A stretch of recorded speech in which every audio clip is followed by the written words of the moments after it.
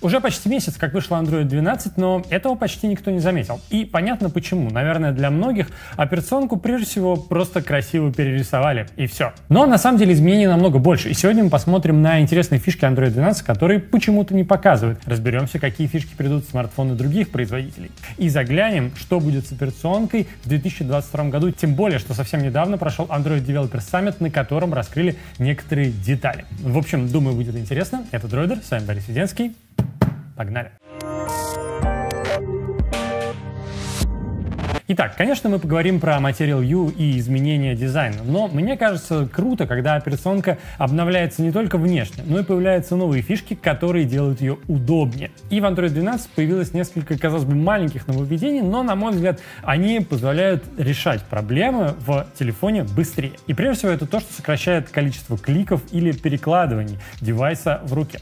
Во-первых, я говорю о режиме одной руки. Его надо активировать в настройках, а потом сделать свайп вниз по нижней части экрана и дисплей сдвигается. Вторая фишка из этой категории — двойное постукивание по задней крышке. На нее можно повесить кучу вещей, от активации ассистента и скриншота до плей-паузы в музыке. Я так и сделал. А главное, есть настройка уменьшить чувствительность, чтобы не было случайных срабатываний. Очень удобно, например, при просмотре YouTube роликов. И третья штука — новый поиск по устройству. Он активируется, когда мы делаем свайп вверх э, в список приложений. Можно включить, чтобы клавиатура открывалась автоматически. Мы вводим, допустим, название приложения, и главное, теперь можем запустить э, верхнее предложенное, просто нажав на виртуальный Enter на клавиатуре. И это дико удобно и быстро, а сам поиск работает по приложениям, контактам и настройкам. И чувствуете, да, все эти штуки упрощают использование телефона в одной руке. Забавно, что все эти функции мы увидели, когда Google выпустил Pixel 6 и 6 Pro с огромными экранами, не очень удобными для одной руки.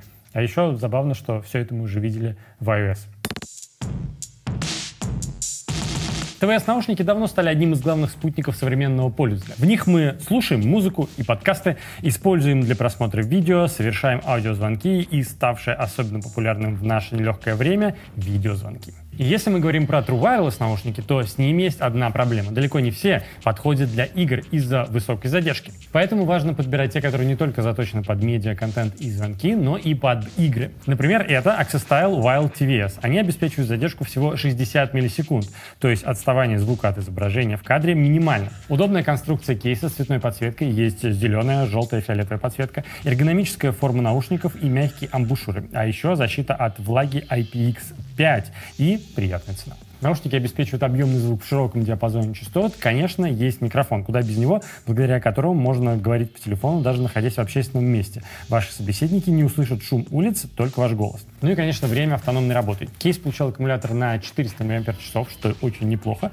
Полностью наушники заряжаются за полтора часа, а на одном заряде способны проработать до 6 часов. А это несколько десятков ожесточенных поединков в колду Mobile без задержек по звуку. И еще кое-что. Для покупателей наушников Access Wild TVS есть еще один э, приятный сюрприз. Конкурс на сайте, в котором можно выиграть один из 15 призов на игровой кошелек выбранной системы номиналом 3000 рублей и главный приз – сертификат на 15 тысяч рублей для игр на любимой платформе. Подробности есть по ссылке в описании. Кликайте. Тем не менее, Android стал удобнее. Теперь переходим к визуальной части. Здесь основное нововведение — это концепция Material U. Что это такое? Помимо того, что все менюшки, тени, элементы операционки полностью перерисованы, важно выделить два момента. Во-первых, в новом андроиде все очень большое. Шрифты в настройках и везде. Кстати, теперь новый шрифт используется Google Sans. Большие виджеты, большие переключатели настроек, даже сетка приложений по умолчанию. Вот на этом экране 4 на 4. Я специально переставлял на 5 к 5. Второй момент более важный. Операционка становится персонализированной. И делается это, казалось бы, за счет пустякового момента. Всего-то навсего цвета системы подстраиваются под обои, которые вы поставите. Сперва показалась фишкой ради фишки, но когда попользовался, оказалось, что это штука, которая действительно меняет опыт использования смартфона. И тут интересно посмотреть, как оно делается. Во-первых, здесь э, выделяется сразу несколько цветов, основные и второстепенные, из картинки, которую вы поставите. Причем выбор цветов не всегда очевидный, поэтому тема выглядит интересно и не плоско. Кстати, цвета могут изменяться в зависимости от фрагмента обоев, которые вы вы выберете. Для одной картинки предлагается несколько световых схем, по которым подкрашивается все в системе. От иконок и виджетов до цвета Google клавиатуры и даже анимаций. А еще в качестве пасхалки можно вывести виджет со списком ваших цветов. Можно включить так называемые тематические значки, которые перекрашивают фирменные иконки Google в цвета темы. Выглядит странно. Зато тема отражается во всех фирменных приложениях, фотки, почта, календарь, камера, а также разработчики сторонних имеют возможность добавить эти цвета к себе. Например, так уже сделал Trackers на Sleep as Android, но думаю, большинство разработчиков забьют, потому что у них свои фирменные цвета. Ну и главный вопрос, будет ли эта вещь доступна в смартфонах других производителей?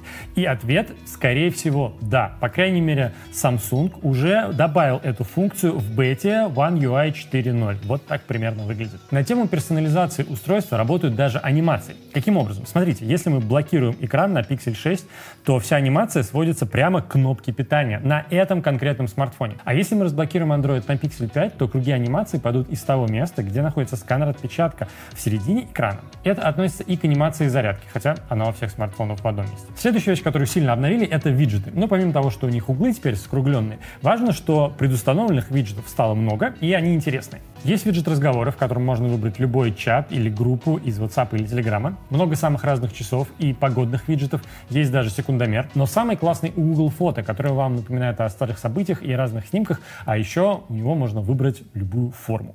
Еще одна штука, которая делает жизнь с смартфоном проще, это уведомления. Казалось бы, в этот раз ничего особо не прокачали, но я нашел два интересных лайфхака. Точнее, даже три. Во-первых, в настройках можно включить функцию откладывания уведомлений, почему по умолчанию выключено. Но прикиньте, как здорово. Идете на работу, приходит уведомление о новом ролике. Вы его откладываете на 15 минут, приходите на работу и смотрите. Во-вторых, если вы устали от захламленной иконками шторки уведомлений сверху, то можно включить галочку, и скроются те уведомления, которые приходили в тихом режиме. Но когда вы свайпнете список, то их увидите. Ну и, наконец, можно включить сохранение истории всех уведомлений. Не знаю, зачем понадобится, но ссылку на них можно вывести в качестве виджета на главный экран. Рядом с уведомлениями находятся и быстрые настройки. Вы про них уже, наверное, слышали, что они большие, помещается мало. Чтобы отрегулировать яркость, надо сделать два свайпа, а чтобы выключить Wi-Fi, два клика. Но мне показалось интересным то, что этот список умеет динамически меняться. Например, если у вас стоит будильник, то вы увидите в шторке переключатель, который за него отвечает. Или если включите режим модема, то этот переключатель тоже автоматом появится. И это удобно. А вот на заблокированный экран почему-то вывели только две дополнительные иконки. Это переключение кошельков для оплаты и умный дом. Причем для управления умным домом еще надо залогиниться. Так что непонятно, в чем смысл выводить его на заблокированный экран. Впрочем, оба пункта в настройках можно отключить. Кстати, о настройках. Когда выходит новая версия операционной системы, я всегда захожу в этот раздел и стараюсь по всем веткам пройтись, чтобы найти какие-то новые функции. И вот что есть в Android 12. Из интересного есть автоповорот экрана с участием камеры. Это не особо ускоряет переход из горизонтального в вертикальный режимы, но если вы лежите со смартфончиком вот так, то у вас экран уже не перевернется, потому что смартфон знает, что вы на него смотрите вот так.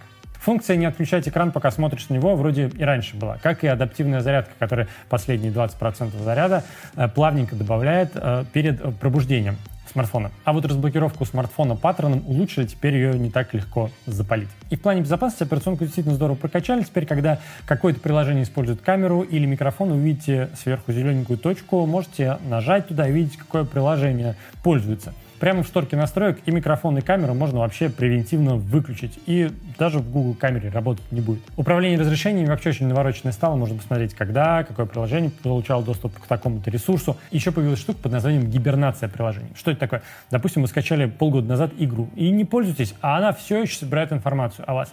Так вот, Android замечает приложения, которыми вы не пользуетесь, и сбрасывает у них все разрешения. А еще при первом запуске программы можно выбирать точность определения локации. Точно или приблизительно. Для соцсетей пойдет. Ну и несколько маленьких фишек, без которых не бывает нормального обновления. Ассистента можно запускать, зажав кнопку питания. Наконец, можно делать длинные скриншоты в соцсетях и не только. Появилась игровая панель, можно записывать, стримить и выводить FPS. В режиме многозадачности можно быстро поделиться ссылкой из браузера, просто перетащив ее. Улучшили режим картинка в картинке, углы скруглили, можно прятать или делать большой. И особенно приятно, что переход громкости между разными медиаисточниками сделали плавным. Вот так.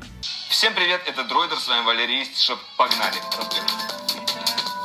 И если вы досмотрели до этого момента, то теперь самое интересное, что под капотом Android 12 и что нам ждать в следующем году. Во-первых, у Android улучшилась производительность. Ресурс центрального процессора, необходимый для ключевых системных сервисов, снижен на 22%. И улучшено энергопотребление, потому что операционка на 15% меньше использует ресурс больших ядер. То есть Android 12 не только симпатичнее, но еще и быстрее и дольше живет, чем предыдущий. Дальше появилась поддержка картинок в формате AVIF. Это расширение видеокодека AV1, про который мы много рассказывали. И фишка в том, что они занимают меньше места, а значит приложения, которые используют такие картинки, будут работать быстрее. Еще одна интересная штука, которую анонсировали на Google I.O., называется Play as Download. По сути, вы сможете запускать игру еще до того, как она скачается полностью. Нечто похожее есть в игровых консолях PlayStation и Xbox. Но, к сожалению, на данный момент я не смог найти приложение, которое эту вещь поддерживает. Непонятно, запустилась ли она окончательно. Ну и самое любопытное. На недавней конференции Google Developer Summit была анонсирована полноценная поддержка складных экранов и соответствующая подстройка интерфейса и приложений под них. А кроме этого, Google выпускает полноценное ответвление Android 12L, предназначенное для больших и складных экранов. И оно уже находится в бете, а в начале 2022 года сможет выйти. Так что, если вы хотите подробный обзор Android 12L, напишите в комментариях, нажмите колокольчик, лайк, подписку, скачаем и посмотрим, что там интересное, чем это все отличается. А сегодня все. Надеюсь, ролик вам понравился. Постарался собрать какие-то неочевидные моменты и личный опыт использования Android 12 на Pixel 6. Так что нажмите лайк, если было интересно. Ну и не пропускайте новые видосы. С вами был Борис Веденский. Это Дроидер. До встречи в будущем. Анонс. Android андроидом, а опыт использования Pixel 6 по расписанию. И уже сейчас я нашел несколько вещей, про которые никто не рассказывает. Обязательно поделюсь с вами в течение ну, ближайшего месяца, наверное.